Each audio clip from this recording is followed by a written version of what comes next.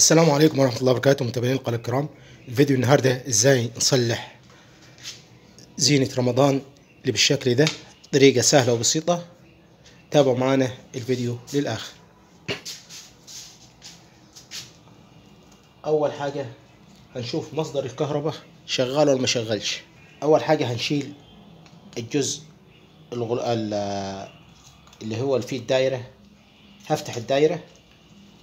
هتبقى معايا بالشكل ده. أول حاجة هقيس دخل الكهرباء وخارج الكهرباء. وأتأكد إن الكهرباء شغالة ولا لأ.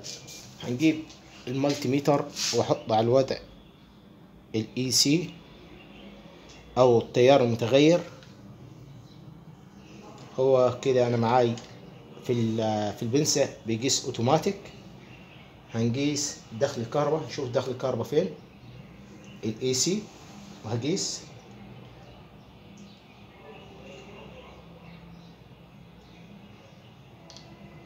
ميتين وتلاتين فولت كهرباء داخلة موجودة في كهرباء.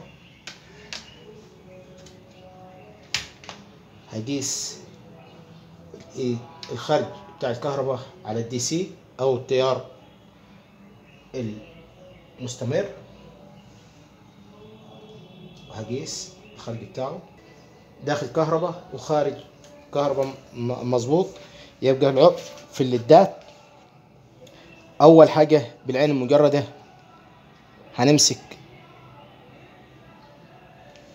قطعة قطعة زي كده وأفحص الأسلاك بتاعتها لأن دول متوصلين على التوالي. لو أي طرف منهم قطع بيفصل الليدات كلها. هتأكد توصيل الأسلاك إن هي واصلة كويس معاي. واحد واحد.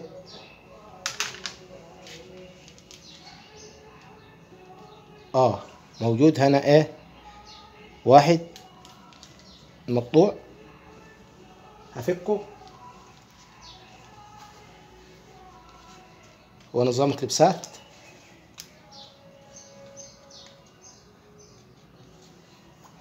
هنجيب أي قطعة معدنية واحاول إيه أفكه بس إيه بحذر عشان ما يتكسرش معاي.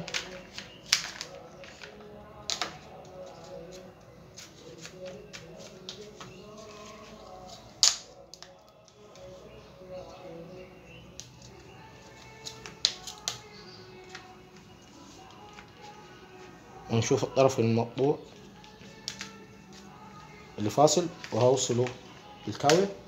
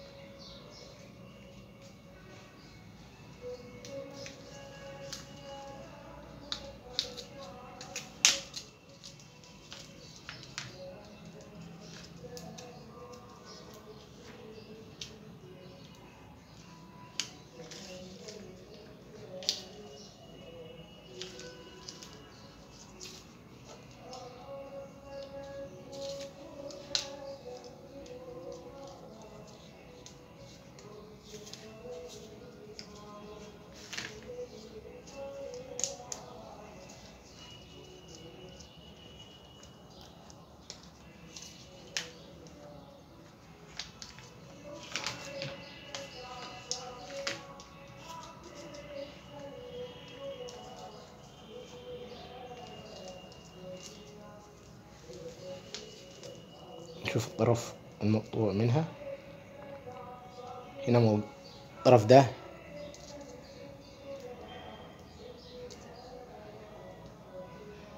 هو المقطوع من الليد. أوصل الكهرباء. واخد الطرف المفصول زي كده. وأحاول أجرب. زي ما حضراتكم ملاحظين الطرف ده مقطوع.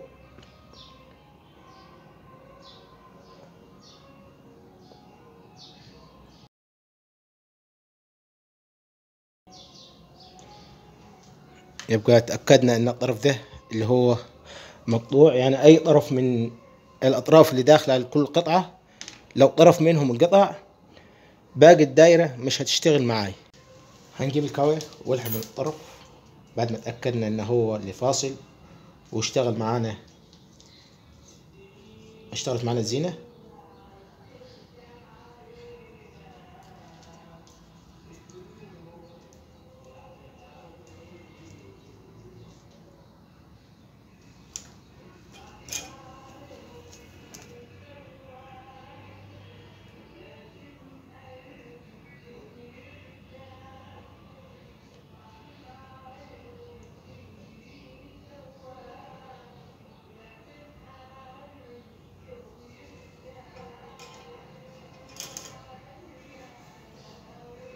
هنجرب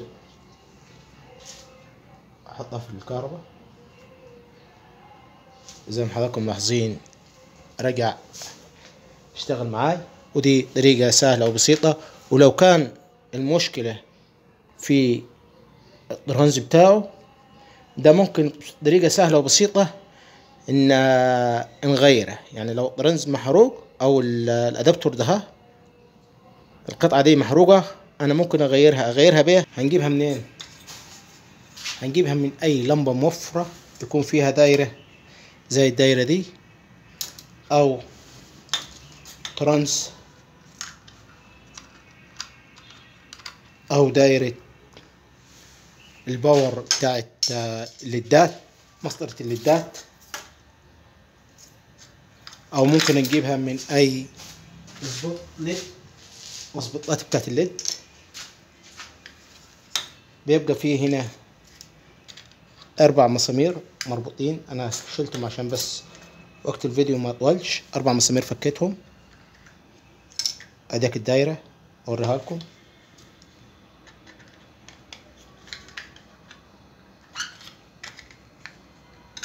تبقى معاي. اديك الدايرة. في هنا دخول كهرباء اللي بيبقى فيه جنب الأربع ديودات أو الأربع سيليكونات والمكثف ده دخول وهنا الخروج ما حتى مكتوب عليهم سالب وموجب. وده ال و ان ال و ان دخول كهرباء سالب وموجب خروج كهرباء. ده دخول تيار متغير وده خروج تيار مستمر. طب هنجرب معاكم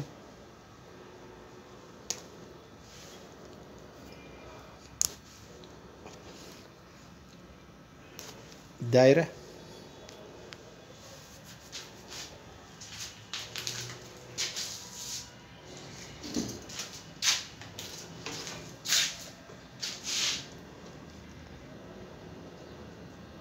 طبعا بربط طرفين السلك دخول الكهرباء.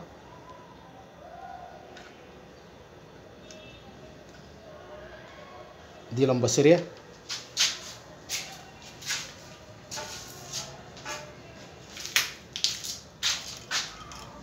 وهشيل.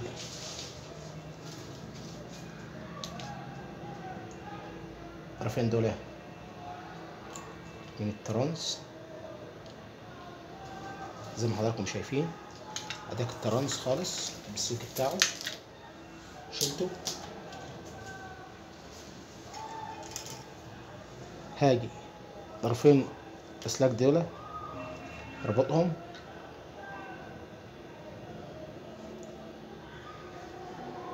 زي كده. الطرف التاني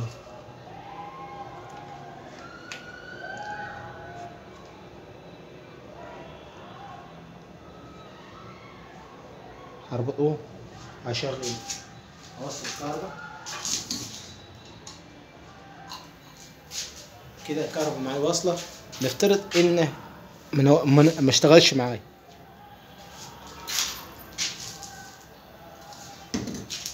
اشتغلش معايا؟ هقلب الأطراف بتاعت أسلاك.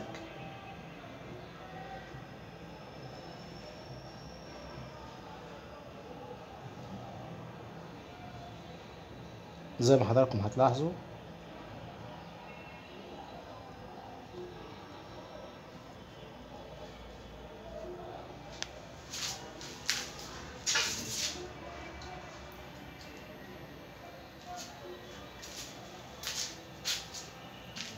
كده اشتغل معاه.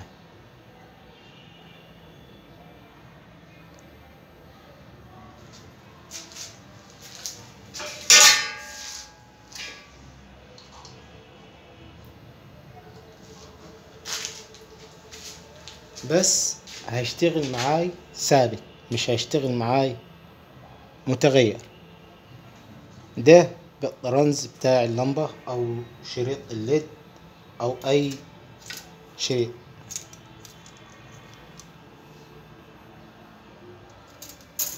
ده بتاع ال cover بتاع التاني عشان محدش يقول ده فاصل بتاع الشريط ده. وده كان الفيديو بتاعنا النهارده. يا رب الفيديو يكون نال إعجابكم. لو عجبكم الفيديو like اشتراك القناه فضلا لا امرا واستودعكم الله الذي لا تضيع ودائعه والسلام عليكم ورحمة الله وبركاته. وإلى اللقاء في فيديو قادم إن شاء الله.